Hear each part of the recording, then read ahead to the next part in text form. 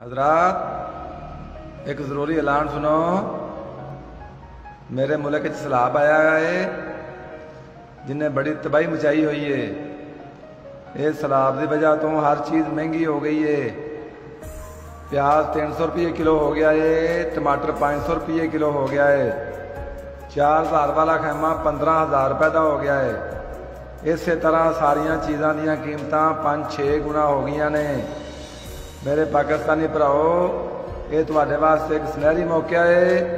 ਜੇ ਤੁਹਾਡੇ ਕੋਲ ਕੰਬਲ, ਖੇਸ, ਚਾਦਰਾਂ, ਕੋਈ ਪਾਟੇ ਪੁਰਾਣੇ ਕੱਪੜੇ ਅਜ਼ਾਫੀ ਮੌਜੂਦ ਨੇ, ਉਹ ਤੁਸੀਂ 4-5 ਗੁਣਾ ਵੱਧ ਰੇਟ ਤੇ ਵੇਚ ਸਕਦੇ ਹੋ।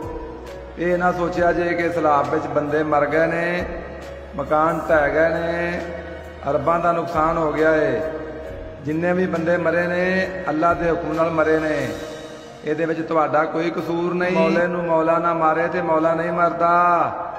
ਛੇਤੀ ਛੇਤੀ ਆਪਣੀਆਂ ਚੀਜ਼ਾਂ ਵੱਧ ਰੇਟ ਤੇ ਵੇਚ ਲਓ। ਉਹ ਨਾ ਹੋਵੇ ਅੰਗਰੇਜ਼ ਕਾਫਰ ਬਾਹਰੋਂ ਚੋਖੀਆਂ ਚੋਖਾ ਸਮਾਨ ਘੱਲ ਲਵੇ ਤੇ ਫਿਰ ਤੁਹਾਡਾ ਸਮਾਨ ਵਿਕੇ ਹੀ ਨਾ। ਕਿਉਂਕਿ ਅੰਗਰੇਜ਼ ਕਾਫਰ ਦੀਆਂ ਚੀਜ਼ਾਂ ਦਾ ਇੱਕ ਬੜਾ ਵੱਡਾ ਨੁਕਸਾਨ ਹੈ ਕਿ ਜਦੋਂ ਵੀ ਉਹਨਾਂ ਤੇ ਕੋਈ ਮੁਸੀਬਤ ਆਉਂਦੀ ਏ ਤੇ ਉਹਨਾਂ ਦੀਆਂ ਚੀਜ਼ਾਂ ਦਾ ਰੇਟ ਅੱਧਾ ਰਹਿ ਜਾਂਦਾ ਹੈ ਤੇ ਸਾਡੀਆਂ ਚੀਜ਼ਾਂ ਅੱਲਾ ਤੇ ਫਜ਼ਲ ਨਾਲ ਹਾਈ ਕੁਆਲਿਟੀ ਦੀਆਂ ਨੇ।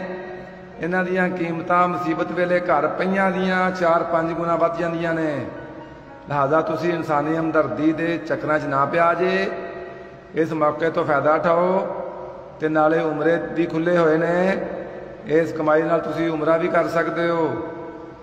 ਇਹ ਸਲਾਬ ਰੋਜ਼ ਰੋਜ਼ ਜੇ ਆਉਣਾ, ਫਿਰ ਸਾਲ ਬਾਅਦ ਇਹ ਮੌਕਾ ਮਿਲਣਾ ਜੇ। ਹੋ ਸਕਦਾ ਹੈ ਉਦੋਂ ਤੱਕ ਜ਼ਿੰਦਗੀ ਰਵੇ, ਨਾ ਰਵੇ। ਪਹਿਲੇ ਵੀ ਸਾਡੇ ਪਾਕਿਸਤਾਨੀ ਭਰਾਵਾਂ ਨੇ ਬੜਾ ਫਾਇਦਾ ਉਠਾਇਆ ਸੀ। ਕਰੋਨਾ ਦੇ ਦਿਨਾਂ ਵਿੱਚ 10 ਰੁਪਏ ਦਾ ਮਾਸਕ 150 ਰੁਪਏ ਦਾ ਦਿੱਤਾ ਸੀ ਤੇ ਅੱਜ ਉਹ ਬੜੇ ਸੌਖੇ ਨੇ। ਇੱਕ ਬੜੀ ਅਹਿਮ ਤੇ ਜ਼ਰੂਰੀ ਗੱਲ ਇਹ ਵੇ ਕਿ ਸਹੂਲਤ ਮੇਰੇ ਪਾਕਿਸਤਾਨੀ ਭਰਾਵਾਂ ਨੂੰ ਸਿਰਫ ਪਾਕਿਸਤਾਨ ਵਿੱਚ ਦਸਤਿਆਬ ਹੈ ਕਿਉਂਕਿ ਇੱਥੇ ਕੋਈ ਪੁੱਛਣ ਵਾਲਾ ਨਹੀਂ। ਕਿਸੇ ਹੋਰ ਮੁਲਕ ਵਿੱਚ ਜਾ ਕੇ ਚਵਲ ਨਾ ਮਾਰਿਆ ਜੇ। ਲਿੱਤਰ ਬੜੇ ਪੈਣਗੇ, ਕਿਉਂਕਿ ਉੱਥੇ ਆਫਤ ਨੂੰ ਆਫਤ ਸਮਝਿਆ ਜਾਂਦਾ ਏ, ਕਾਰੋਬਾਰ ਨਹੀਂ, ਐਲਾਨ ਖਤਮ ਹੋਇਆ।